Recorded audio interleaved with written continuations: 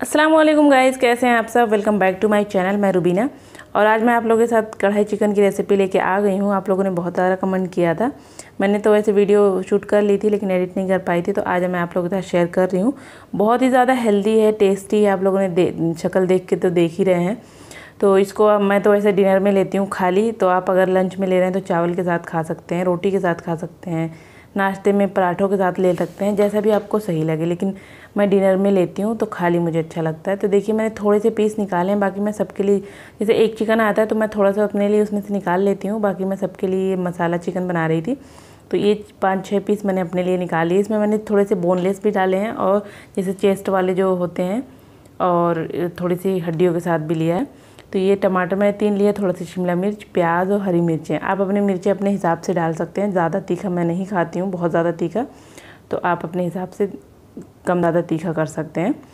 तो देखिए, मैंने, मैं जब भी चिकन बनाती हूँ, आप लोगों ने देखा है, मैं पहले इसको ब्लांच करती हूँ, हल्का सा बॉईल करके पानी फेंक के। चिकन या मटन मैं कुछ भी बनाती हूँ तो ऐसे ही बनाती हूँ।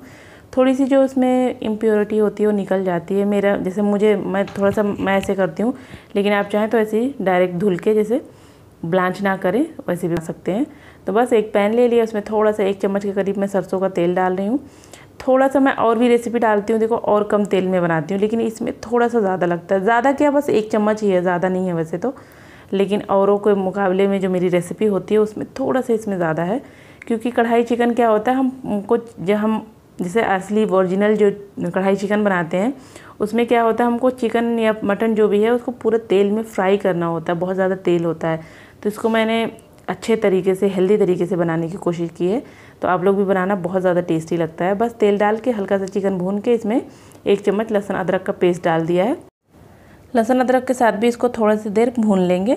हल्का सा जैसे चिकन को बस भूनना ही नहीं है कि लहसुन, अदरक तो ऐसे पक ही जाएगा और भी चीज़ों में हम जब पकाएँगे इसको।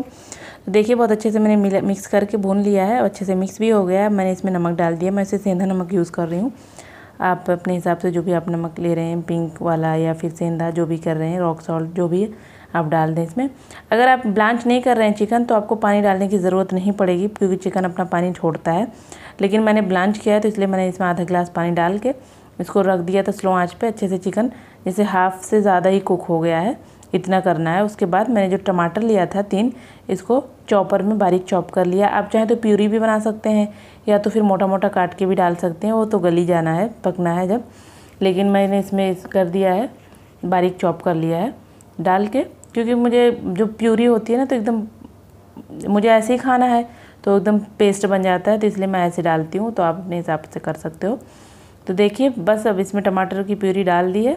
टमाटर भी अच्छा खासा पानी छोड़ता है तो इसको भी ढक देंगे, इसको पानी। लेकिन अब आज को मीडियम ही रखनी है, बहुत तेज़ करके पकाना नहीं है। और इसमें मैंने हरी मिर्चें डाल दी हैं तीन। मैं साबुत डाल रही हूँ, काट नहीं रही हूँ, क्योंकि काटने से बहुत ज़्यादा तीखापन इसमें आ जाएगा। अगर आपको तीखा खाना है तो आप काट के भी डाल सकते हैं। डाल के अभी टमाटर के साथ मैंने इसको अच्छे से भून लिया है। टमाटर का पानी भी सूख गया है। बस इसमें दो चम्मच के करीब मैंने दही डाल दी है। दही भी डाल के अब इसको भी मिक्स कर देंगे, दही का पानी भी सुखा लेंगे। दही डालने से ना टेस्ट बहुत अच्छा सा क्रीमी सा थोड़ा सा हो जाता है तो आप ज़रूर डालें, इससे टेस्ट बहुत अच्छा हो जाता है। तो बस, अब इसको डाल के इसको भी थोड़ी देर भून लेंगे दही के साथ। दही हल, बहुत कम ही डाला है मैंने, दो चम्मच के करीब ही डाला है तो ज़्यादा पानी इसमें तो है नहीं, लेकिन थोड़ा सा दही को भी भून लेना है। भून के उसके बाद जब भुन जाए, उसके बाद जो शिमला मिर्च और प्याज काट के रखी है वो इसमें डाल देंगे, इसको डाल के इसको भी थोड़ी देर भून लेंगे कि इसका हल्का सा ये पक जाए। बहुत ज़्यादा पकाना नहीं है, जैसे कच्चा अच्छा लगता है, क्रंच जब इसमें रहता है तभी खाने में अच्छा लगता है। लेकिन ये ये हल्का सा इसे पक जाए, कच्चेपन की ना आए। बस अब इसमें ब्लैक पेपर पाउडर और थोड़ा सा गरम मसाला पाउडर डाल देंगे। और थोड़ा सा ज़ीरा पाउडर, बस। और कुछ नहीं डालना है इसमें, कोई भी मसाले नहीं। बहुत कम मसालों में और बहुत ही ज़्यादा टेस्टी बनता है।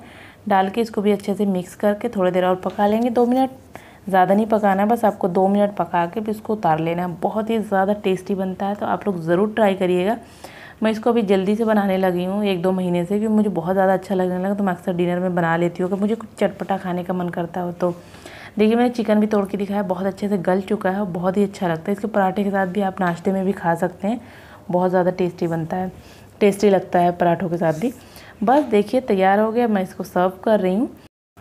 और अगर आपके पास हरा धनिया है तो इसमें खूब ज़्यादा हरा धनिया डाल के खाएँगे ना तो टेस्ट और अच्छा लगता है। लेकिन मेरे पास ख़त्म हो गया था तो मैंने थोड़ा सा ही डाला है। तो इसमें खूब ज़्यादा हरा धनिया आप जैसे मिक्स करेंगे, तभी पैन में ही मिक्स कर लें। तो बहुत ज़्यादा उससे अभी और अच्छा, टेस्ट आ जाता है। तो देखिए बस तैयार है। आप लोग भी ज़रूर बनाना। बहुत ही ज़्यादा टेस्टी बनता है और वीडियो लाइक शेयर सब्सक्राइब ज़रूर करना। इधर मेरा चिकन मसाला चिकन जो मैंने बनाया वो भी तैयार हो गया है। तो मिलती हूँ आप लोगों को अगली वीडियो में। अल्लाह हाफिज़।